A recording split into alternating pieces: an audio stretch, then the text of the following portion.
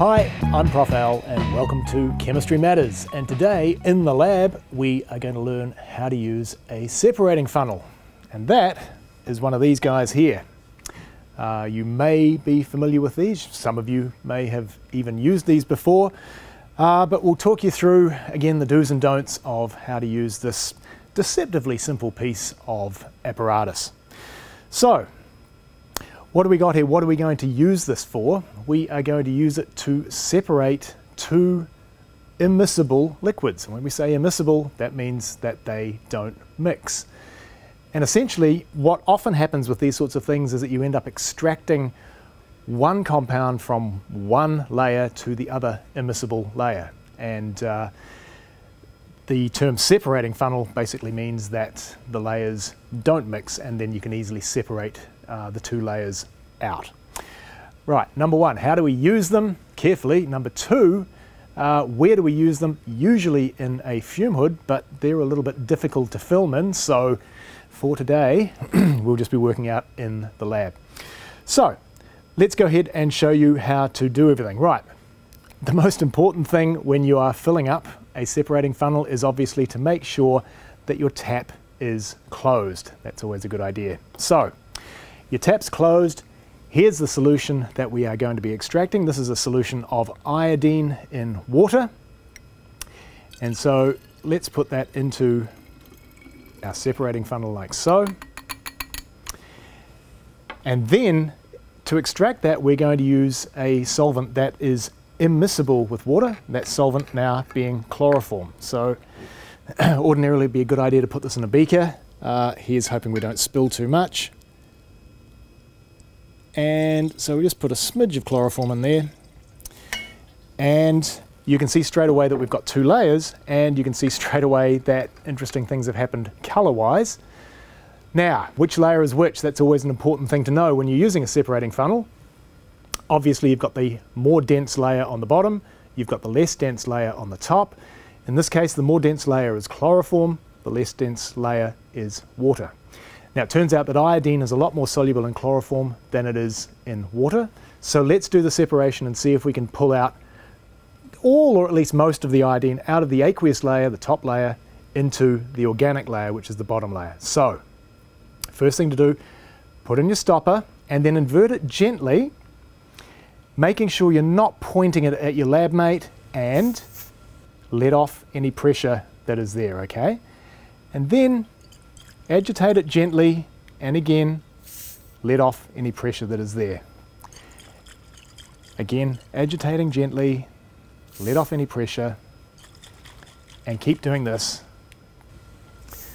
for a good, gosh, I don't know, minute or so probably. Shake, shake, shake. The more volatile solvents that you use, things like diethyl ether, you will get a lot of pressure building up in here. And so make sure that you are always letting off the pressure like so. And again, as I said, always making sure that you're not pointing the separating funnel at your lab mates. So we'll give it one last decent shake and let off any pressure. And okay, let's see what now happens. So we can stick it back now in our clamp to let it separate out. And so we'll put it back in there. And now you can see that it looks like it's separating out quite nicely. This can take a while depending on uh, the solvents that you're using. Uh, sometimes if you shake things too hard, then you can end up with an emulsion and you really don't want to do that because either they take forever to separate out or they'll just never separate out at all. So you can see this is separating out quite nicely now. You can see certainly the chloroform layer there. Slowly separating out. And what we should eventually have, if we hold this up for the camera, is that you will get a clear delineation between um, the aqueous layer here and the chloroform layer there. And so you can see the aqueous layer is sort of um, yeah, going up a little bit. This guy's going up a little bit, and you'll eventually get to the point where you'll have a nice clear line between the two layers. And so we're waiting, waiting, waiting, and this is where we fast forward. Ah, come on.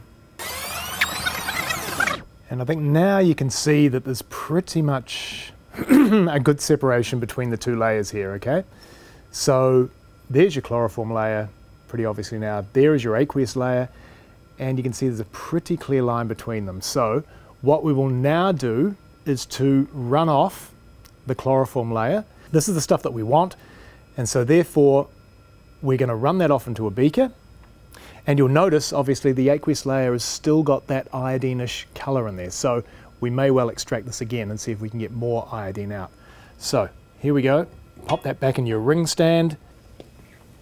Now you're running off the bottom layer here. So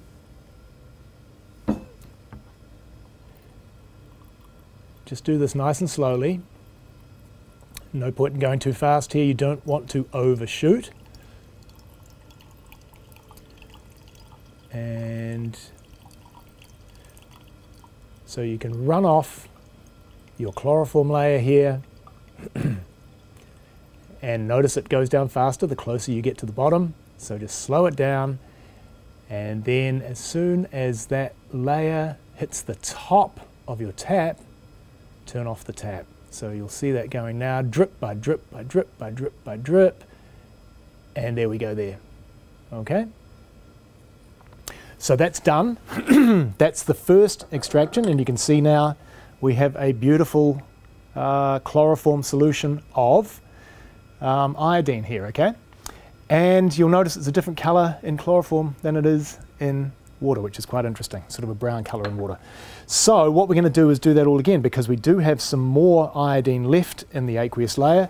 So let's throw a little bit more chloroform in there and see if we can't get a little bit more of the iodine extracted. So again, you don't need too much. That should be tons. again, the chloroform is the dense layer. So taking that out, you can see that even just pouring the chloroform in, we've got some more iodine going into the chloroform layer there. So let's do the same again. So again, invert gently and let off any pressure. Bit of a shake.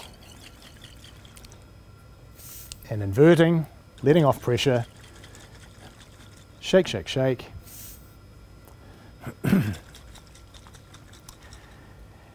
And this is a very, very common part of organic chemistry when you're doing organic chemistry workups, when you've done a chemical reaction, an organic reaction, and you want to isolate the product uh, doing this sort of process uh, is very, very common when it comes to purifying or at least isolating the product of an organic reaction.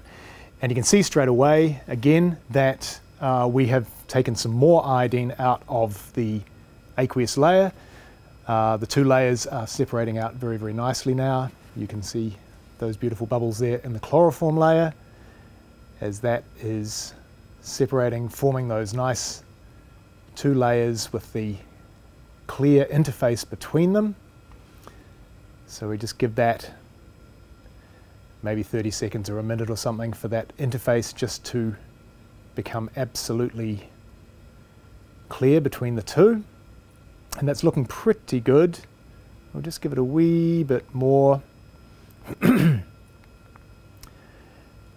But again, this is usual. Um, often when you're isolating a product, you will do an extraction twice, maybe even three times uh, to get all of the product out of one layer into the other one, okay? And so of course all of the water soluble stuff, the, the, the, the principle behind this whole um, separation is that all of the water soluble material will stay in the aqueous layer, all of the chloroform soluble material will go into the chloroform layer. So iodine, as I said, being more soluble in chloroform than it is in water, it favours the chloroform layer here. So again, now we can run that off. It's pretty much separated, so stick it back in your ring stand, and you can add it pretty much straight to the first extract. And again, doing it nice and slowly, just dripping your stuff into there. And we've got a perfect um, separation here. We've got a lovely, lovely, clean, clear separation between the two layers, as you can see here. And it's going down, down, down, down, down. And again, you just take it to the top of the tap and you're done like that, okay? You will, you, you'll lose a smidge in the tap, but really that's, that's not worth worrying about. And so we won't do it again. That will be the end of it. Um, and so what we end up with now is your aqueous layer, which contains the material that you essentially don't want. Now, let's assume that this is the stuff that you did want. Then after you do your extraction, you don't run this out through the tap. You simply take this and you just pour it out the top. That's the usual way to do things if your material that you're after is in the top layer. Okay, so that's it on how to use a separating funnel. Fairly straightforward stuff. Um, what to remember, probably the big thing, let off the pressure. Make sure that you're always releasing the pressure. Don't be tempted to shake it too much before you release the pressure. Don't point it at your lab mates. Um, and be careful when you're running off the um, bottom layer. Make sure you don't run too fast because then obviously that kind of defeats the whole purpose of the separation. So, um, hopefully you've learned a little bit today and uh, we'll see you in the next video when we learn how to use another piece of apparatus. See you then.